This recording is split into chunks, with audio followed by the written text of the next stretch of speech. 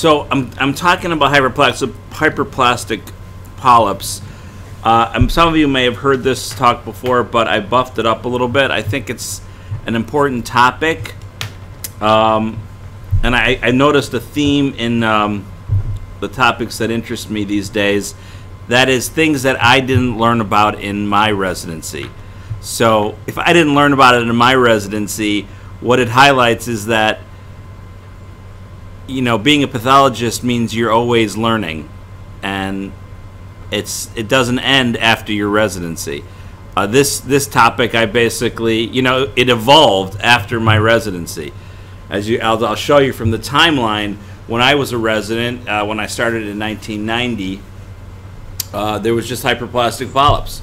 The, this whole concept of serrated neoplasia didn't exist. Just literally didn't exist. So basically, you had to teach it to yourself. I mean, that's how it works in pathology. There's a new entity, and that's the purpose of the literature and all the annual meetings. You learn about what's becoming, what's new, and what's becoming accepted, and what you have to do to stay current. So um, you know, there's some still some pathologists I would imagine that don't, some senior pathologists that that don't know the distinction between hyperplastic and sessile serrated. So um, because they just haven't, you know, they just haven't been um, focusing on on what's happening in the world of pathology. So ha- giving given that background, um, the topic is hyperplastic, really serrated polyps and they're not always what they seem. In other words, they've changed. Uh, it used to be one topic, now it's multiple topics. so I start always start with the case. I like to start with the case. It puts it into perspective. It's like starting any, any talk with a good joke, but I don't know any good jokes, so I'm just gonna have to start with the case. Um, huh? That that and that was a good joke. Okay, good. little self self-deprecating humor. Um, 79 year old female. Actually, I think she was the the wife of an oncologist here. Although I'm not sure. It seems kind of old. He doesn't seem that old. But um, that's what I recall. With a 1.2 centimeter polyp in the hepatic flexure, there were several other polyps, both hyperplastic and adenomatous in the splenic and sigmoid, respectively. This is what it looked like. Um, you can see on low power. Um, on this side, what would you call that? just if you were just you know kind of looks hyperplastic right and then on this side what what do you what would you how would you describe that side? Denuded, denuded. well it doesn't look the same. Yeah. to me it looks just solid. There's just solid. It's not something's going on on the left side here right? It's not this. It's something else right? And as I as I tell you, it's a poorly differentiated carcinoma.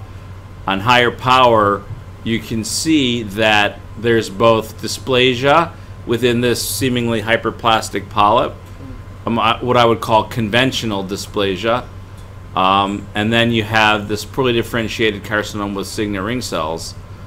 So this is a good example of a you know, basically colorectal carcinoma arising in a sessile serrated polyp. Um, and that's the term that I like to use. Sessile, I use the term sessile serrated polyp. I think that's the best. Some people use sessile serrated adenoma. In my reports, I use the term sessile serrated polyp slash adenoma. So you can use any of those three terms. They're all acceptable. But um, when talking about it, I like the term sessile serrated polyp. I think it's the most distinctive. And um, but this is a sessile serrated polyp with conventional dysplasia and a carcinoma. So that raises the questions of what's going on here. I would say in the past, this used to be called an adenoma, in which some kind of strange adenoma in which carcinoma arose. We wouldn't say that this arose hyperplastic polyps were not thought to have any pre-existing uh, or, or, any kind of uh, precursor status. So, you know, it begs the question, does carcinoma arise in association with hyperplastic polyps? And if so, you know, then do they get the same status as adenomas and all have to be removed? Because right now they, they don't. So, just to give you a little background, it used to be easy. You used to have intestinal type adenomas, conventional adenomas, which were known precursors to cancer. Um, the conventional adenoma to carcinoma sequence worked out by Bert Vogelstein in the 1990s, uh, maybe late 80s. Um, and they were what are known as chromosome unstable. There were alterations, a lot of alterations in tumor suppressor genes, oncogenes, P53, APC, KRAS genes, all of which contributed uh, at some multi in some multi-step fashion to the development of colorectal cancer. And then you had hyperplastic polyps on the other side. It was pretty easy. Just two choices whenever you saw a polyp, pretty much. I mean, basically, I'll, I'll get to the long differential near the end, but um, but basically, it was either intestinal type adenomas or in hyperplastic polyps. No pre-malignant potential and no known genetic alterations. But um, things started to change. So here's your basic tubular adenoma. It forms a nice, you know, polyp, it, meaning it extends upward from the mucosal surface. You can see what's its most prominent feature, I would say. I mean, there's a couple of prominent features. What's that? Hyperchromasia, I think, is the number one. If this was a family feud, I would say 88% would say hyperchromasia, given this given this picture. Um, it's dark. It's much darker than the surrounding normal colonic epithelium. And here you see on high power, this is dysplasia. Even though you don't you don't see it start and stop, it's a high power picture, but this is a picture of hyperchromatic nuclei. How do you know it's too dark? You just have to know. You have to see enough not dark to know that this is dark. If you show this to a novice, he would say, well, I don't looks fine to me. but we all know that it's not because it looks dark. And the reason why it looks dark is because hematoxylin as, is, has a stoichiometric relationship with DNA. So when you have more DNA, you have more hematoxylin. And that's how it works. So when you have chromosome instability, you get, you know, autonomous, uh, autonomous um, uh, um, uh, replication of DNA. You have more DNA per nucleus, and that looks dark. That's how it works. I mean, that's how we understand it. Whether that's really how it works, I don't know. But that's how we understand it. That's how believe how it works.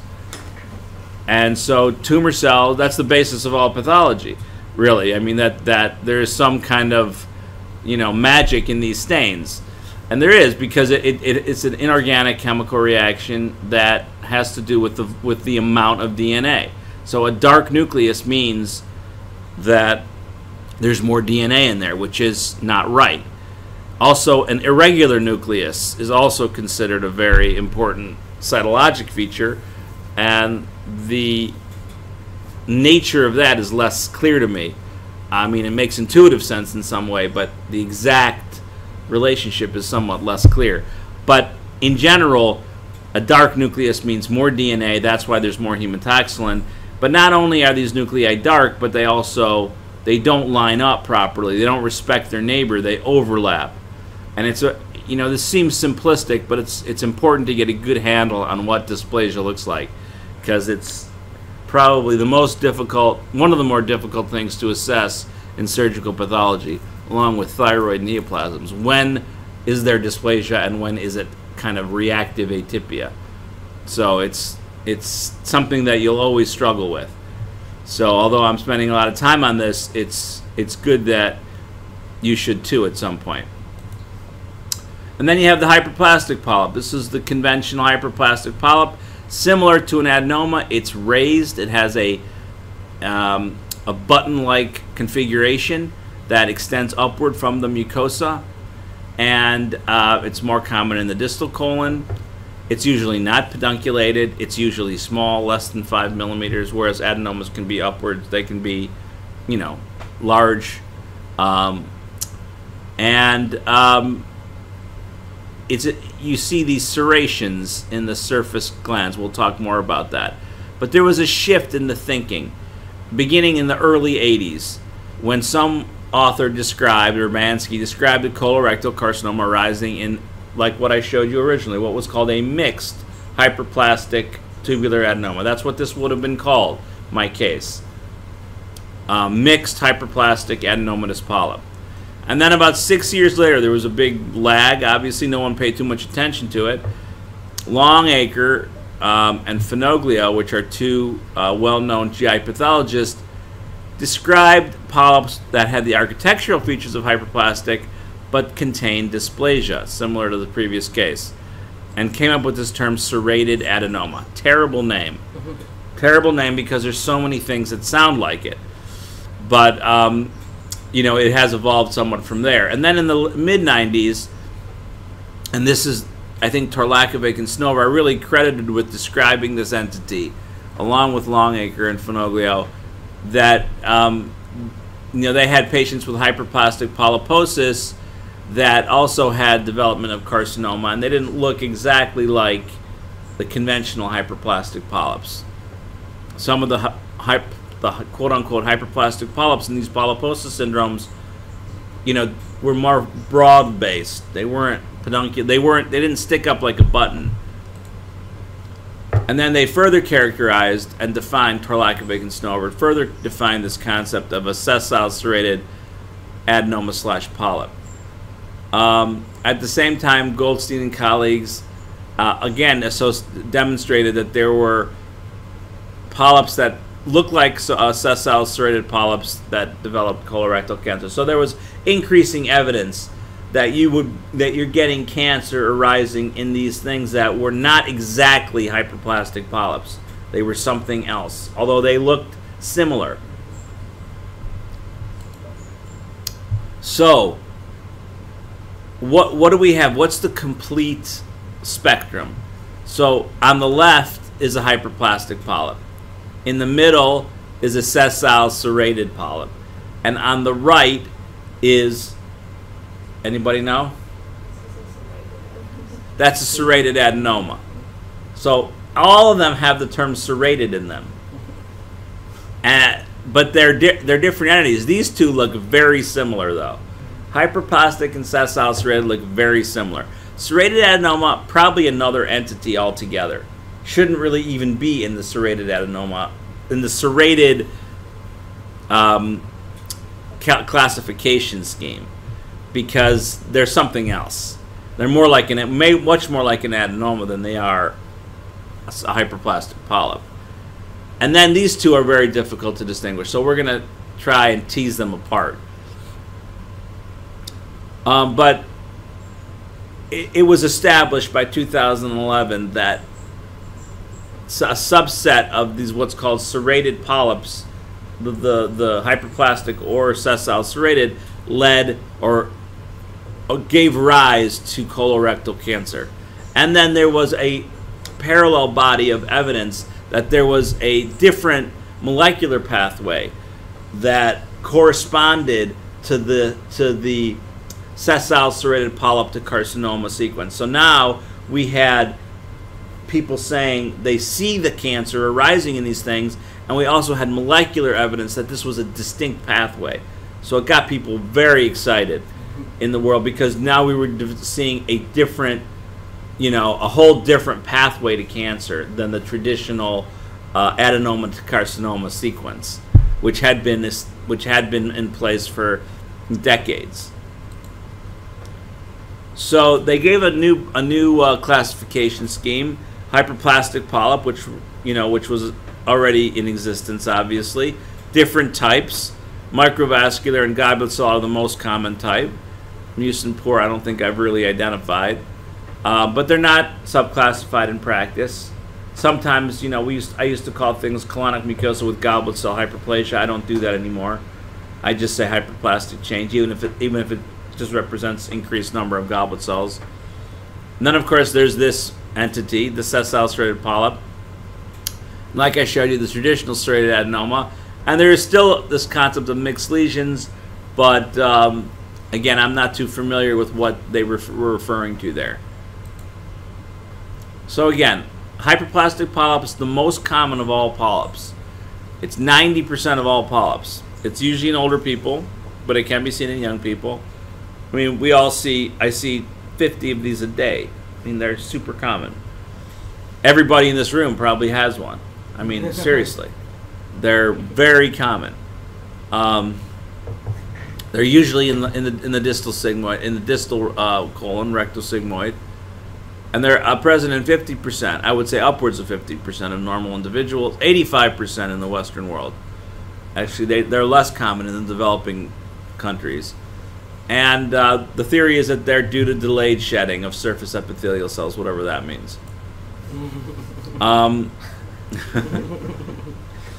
so, the classic appearance of a hyperplastic polyp is you have this sawtooth internal contour to the lumen.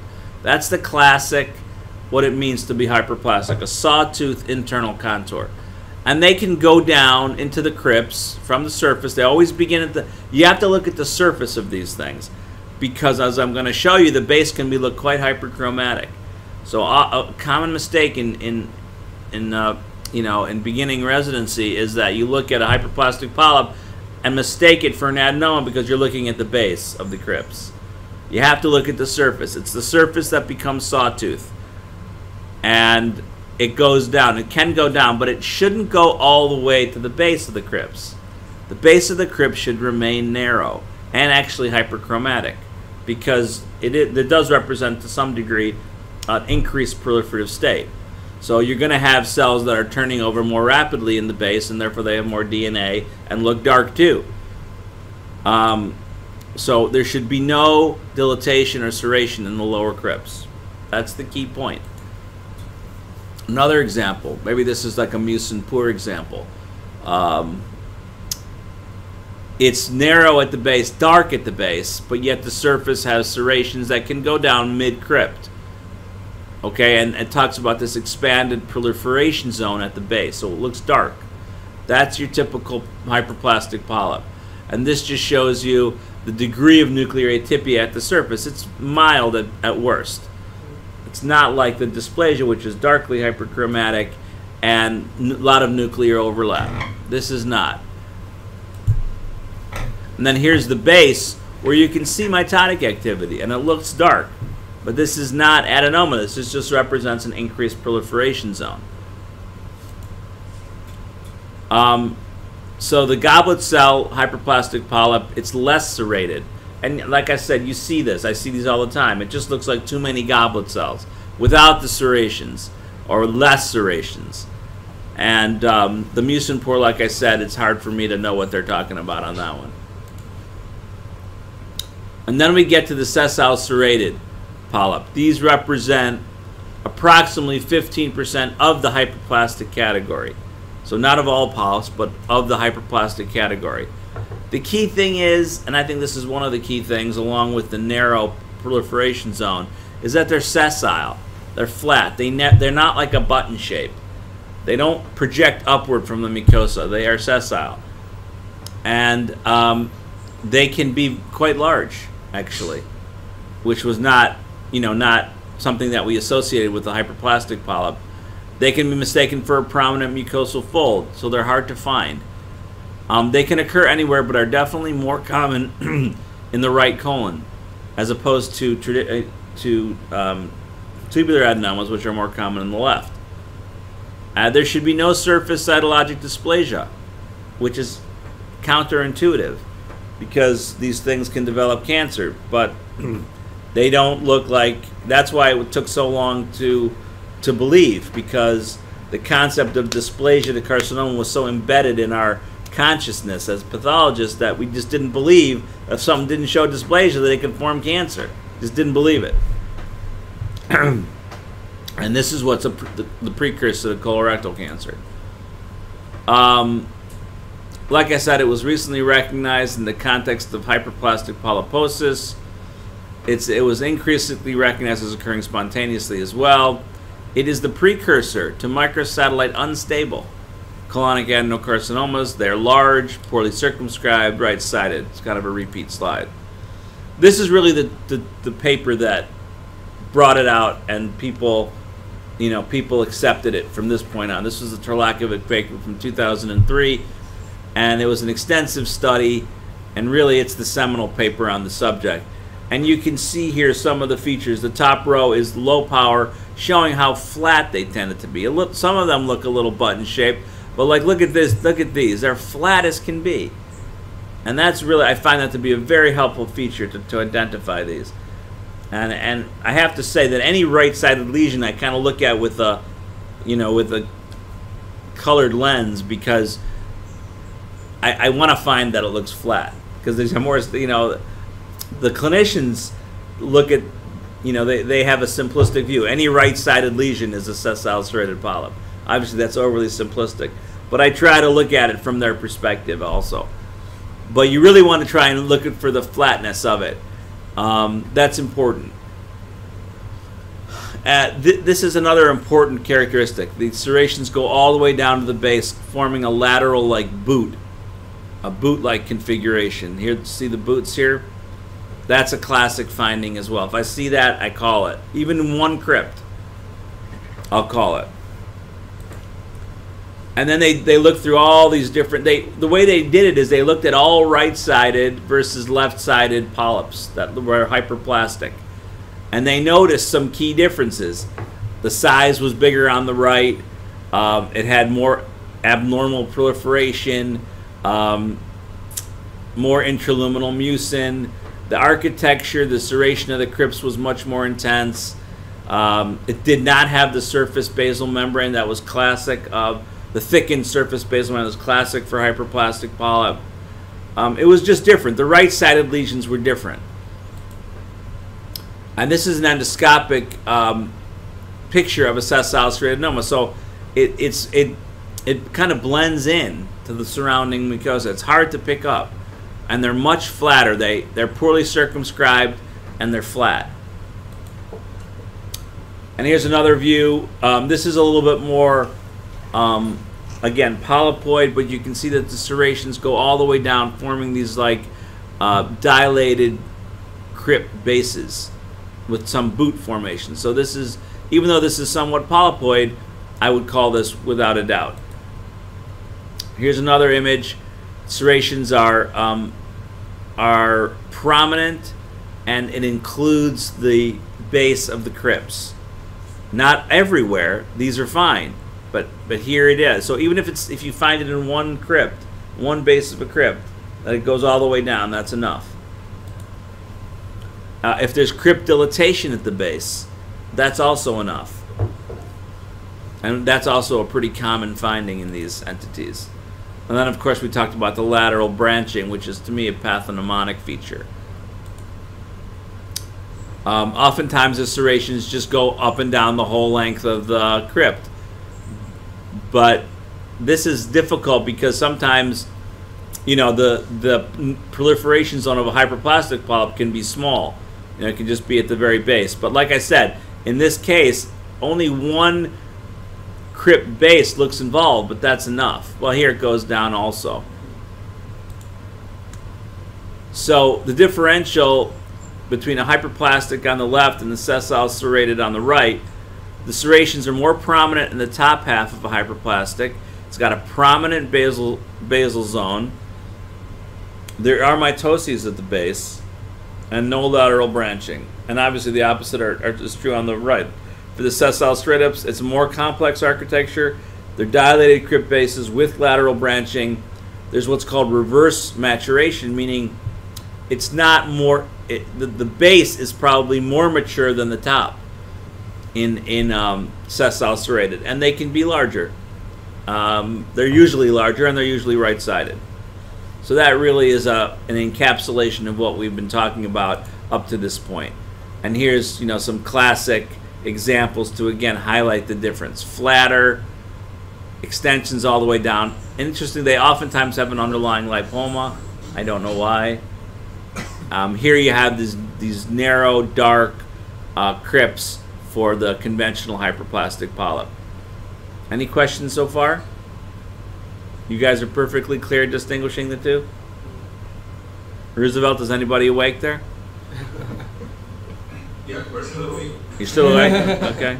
But no questions. I feel like um, my own question is like um, oftentimes we don't have these beautiful pieces of tissue we have really small. I've seen you pointing to the to the base many times, but I found that when we have a little bit of fat underneath, it's easier. Is that because it comes of helps it to orient the Uh, Well, I mean, um, when there's less tissue, it's always going to be more difficult, you know. Um, but usually, even with small pieces, you're going to get, you know, you're usually going to get the whole mucosa, meaning including muscularis mucosa, or at least good chunks of it. You'll be able to distinguish the base of the crypts from the surface. If you can't, that's a problem. If you can't distinguish base of the crypt from the surface, you're going to have a very hard time diagnosing this because that's where the differences arise. That's what that's where the differences are. Well, if you don't have enough to do that, then I, I have a term that I use: hyperplastic polyp with features of sessile serrated. If I just can't be sure, and it's right-sided usually, um, or if it's more convincing but left-sided. You know, the presence or absence of fat in and of itself, I don't find diagnostic, but it is. I, it does tend to be more common in the sessile serrated polyps, but I, I haven't really used that as a distinguishing feature.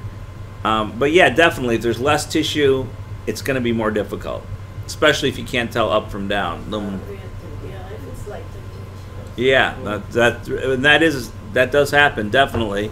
Sure it's going to happen to me today, um, but uh, it just doesn't. You know, there's not, sometimes there's nothing you can do. You just have to hedge. Okay. Oh, and this is a this is a nice picture too. This is this is really defines it. This is the base. The base of the hyperplastic polyp has mitotic figures. This is what you think of as a typical, you know, base, uh, basal lum- uh, nuclei. Here, it looks like it's mature, totally mature at the base, with some lateral extension. Okay, so then we go on to the topic of a traditional serrated adenoma. I included it's included here because it has the word serrated in it, and it does have these, you know, this um, kind of sawtooth internal contour which defines the gr- serrated growth pattern.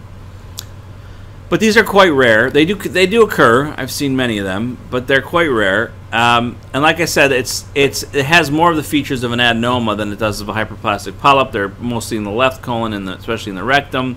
They're often large and have a tubulovillous architecture, and they're raised but rarely pedunculated. And this is what they look like. Um, they're really a good mixture of adenoma and serrations, but they have some other features that are unique to them. Does anybody know what's really unique about a, tr- a s- traditional serrated adenoma? Again, like in the Family Feud, what are the some of the top features of that make traditional serrated adenomas unique? Anybody? Rifat, where are you? Studying for boards, probably. Rifat's not there. Any senior, any any senior residents there? Well, Lara's here. Dominic's here.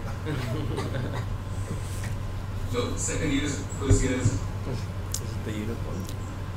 It's there's something called it has an eosinophilic cytoplasm, and you can see it here on low power. It looks kind of like different. You see the serrations, but also looks pink here, very pink. Um, so, just to go through it, it's oftentimes villiform. The serrations are complex, like in a sessile serrated polyp, and there's dysplasia, like you see in a conventional adenoma. Um, it, the, the dysplasia is usually not as high grade as a conventional adenoma, but it is dysplasia, and it's this eosinophilic pencillate cells that are really, I think, the most unique aspect of this, and I won't call it unless I see this here's a higher power showing it's kind of got this light eosinophilic look. The cells are very, the nuclei are very basally oriented, and the cytoplasm is markedly hyper um, eosinophilic.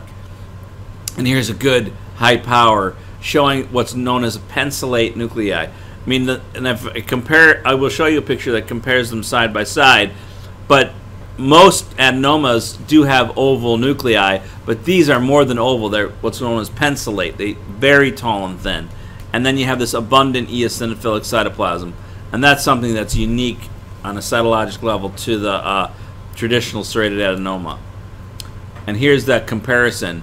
So you can see that the two, two big differences. Conventional adenomas are more hyperchromatic. The nuclei are more hyperchromatic than these are. These kind of are faintly hyperchromatic. And the instead of having mucin in the cytoplasm like they do in the adenoma, it has this eosinophilic material. And those are the two main differences aside from the serrated architecture between a traditional serrated adenoma and a sporadic or con conventional tubulovillous adenoma. And then you have a whole range of other colon polyps just to keep us in the it's not just um, hyperplastic or serrated versus adenomatous. Um, you have fibroblastic polyps, juvenile polyps, hamartomatous polyps, inflammatory polyps, inflammatory fibroid polyps, polyps of sheath origin, and of course the rectal mucosal polyps, all of which we can see all of these in a week. I mean, that's how many polyps are removed. Even though there's a long list here, you can see all of these in a week to a month. This is obviously taken from a book, but um, or article, but I've seen many myself.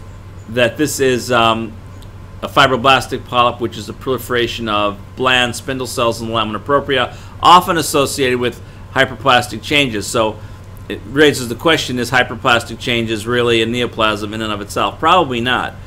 React, they, they're, it's a reactive phenomenon. Whenever you have irritation, probably of the epithelial cells, they undergo increased proliferation, and because there's no room for them, they form this sawtooth internal contour, sawtooth luminal contour, because there's too many cells being produced due to the irritation.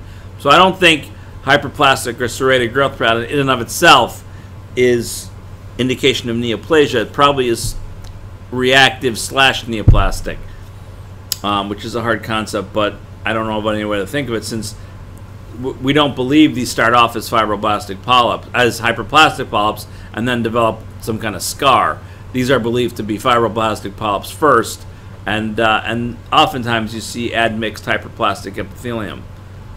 Um, immunostains for this. Some people consider these maybe perineuriomas and they will stain with GLUT1 GLUT1 and um, so there's still some controversy about that but I know it's Sinai they get GLUT1s on all these and if they're positive call them perineuriomas. If they're negative call them fibroblastic polyps. Um, either way they're totally benign.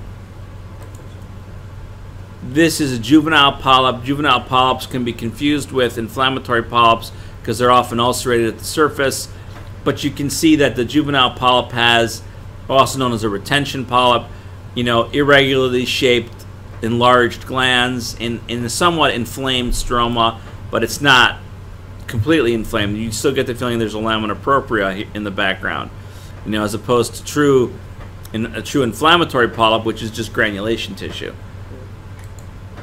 Hamartomatous polyp, of course, classically will be in the context of Peutz-Jeghers syndrome but they can occur sporadically and well, and they they consistently have this branching, um, the the branching um, fibromuscular stroma that's characteristic of these hamartomatous polyps. That's highlighted on a trichrome stain that the stains the muscle red.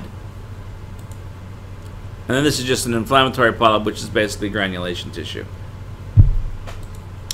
Um, this is an inflammatory fibroid polyp which on high power is characterized by small vessels that have concentric, a concentric like, uh, you know, um, swirling of, of cells around it, oftentimes containing eosinophils, which is a little out of focus, but there are eosinophils in the background.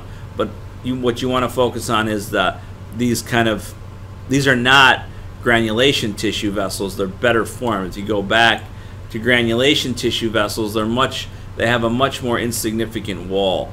You know, they're new vessels that are just sprouting.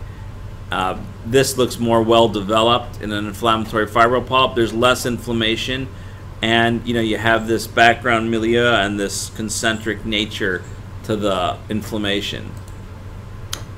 So, as I mentioned, uh, there was a classic adenoma to carcinoma sequence in in um, conventional adenoma to carcinomas.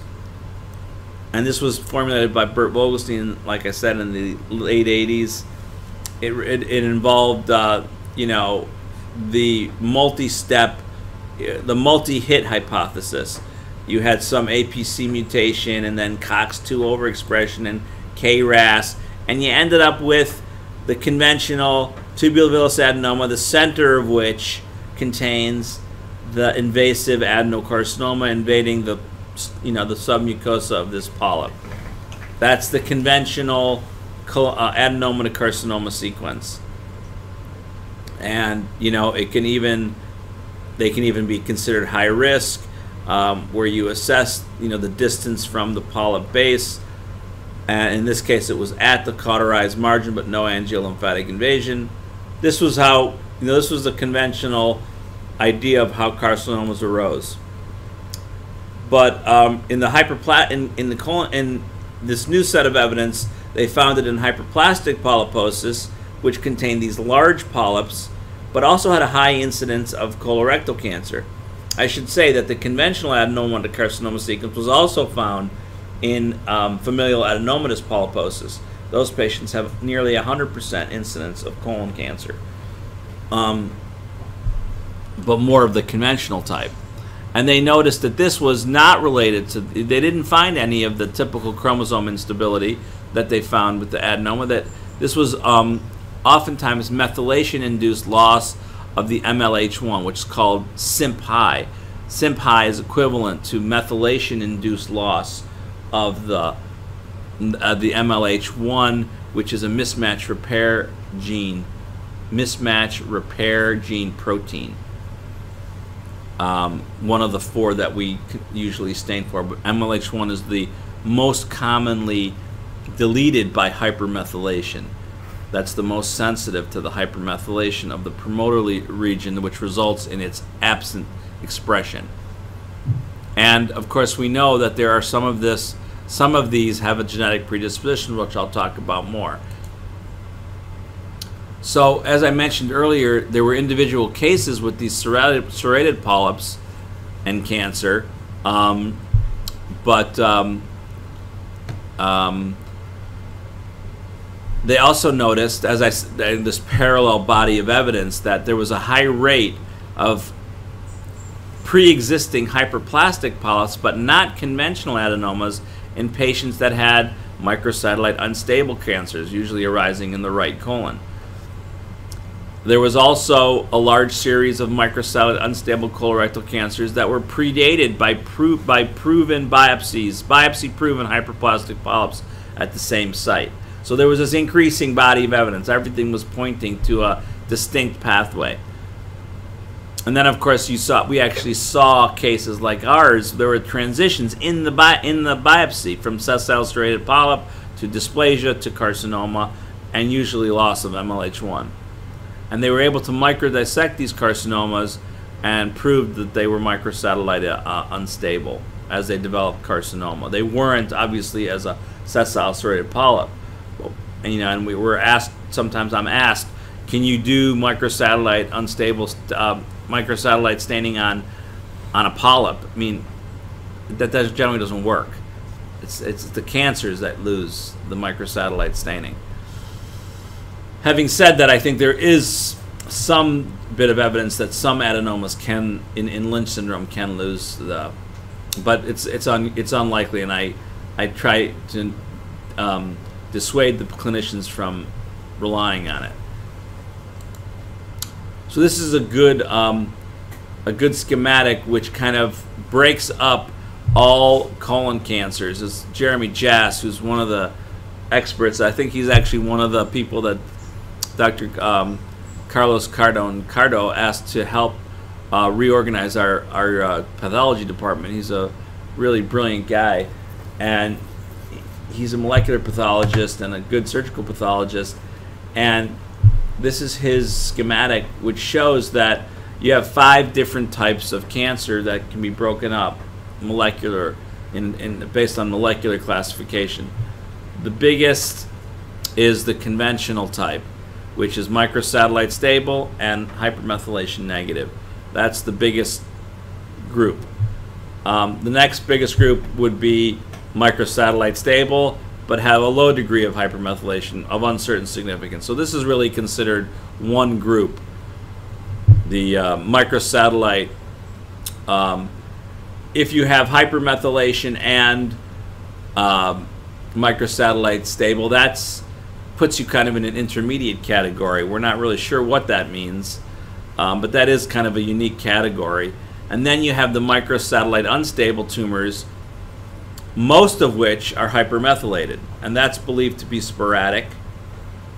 And then you have the, the ones that are not hypermethylated, which are the true HNPCC patients, which account for only 3% of the population, 3% of the cancers. But the point here is that um, we, you know, using the molecular classification, we um, identified a different pathway, and this different pathway often correlated to the serrated polyps, uh, which would which would which would be the precursors to type one and to type two, and that's why you know that's where this whole concept gained tremendous traction. So the conclusions are right-sided hyperplastic polyps are different than left-sided ones. Um, they are larger. They have altered architecture and cytology, albeit subtle, as we discussed. They are associated with microsatellite unstable carcinomas. I didn't really mention this, but they do they can have a shorter interval to development of cancer than a conventional adenoma um, the microsatellite unstable lesions. And as you, actually you can see from that first case, the original case that I showed you, which within the same tumor, you had a pretty poorly differentiated neoplasm. I mean, that can occur in an adenoma, but generally, you know, the adenomas, like I showed you, are polypoid, and you get one central area of, of invasive carcinoma, and it's thought to be pretty slow growing. But um, in, in this case, we had a small polyp that had a poorly differentiated carcinoma in it. So I, I do think this is true. And what is what's the significance for prognosis and management? So let's just review.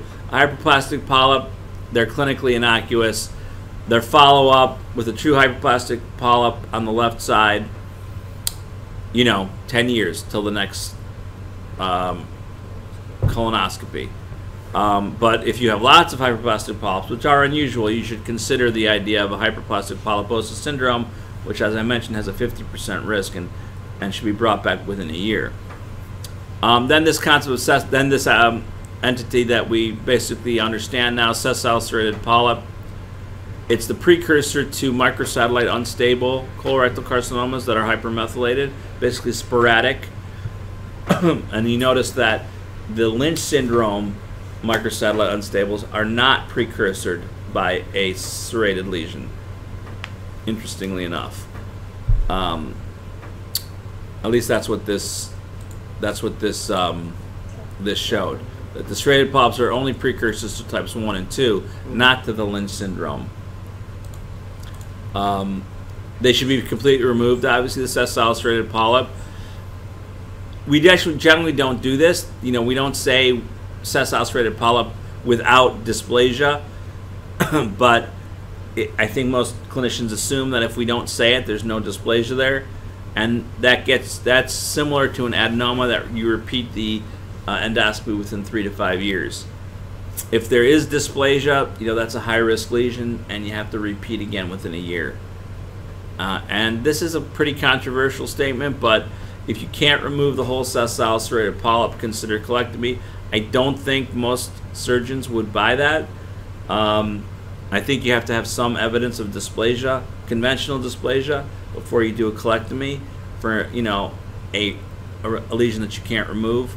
Um, I've never seen a colectomy for just a large sessile serrated polyp, uh, but I mean you never know. But I, I don't think that this is really established.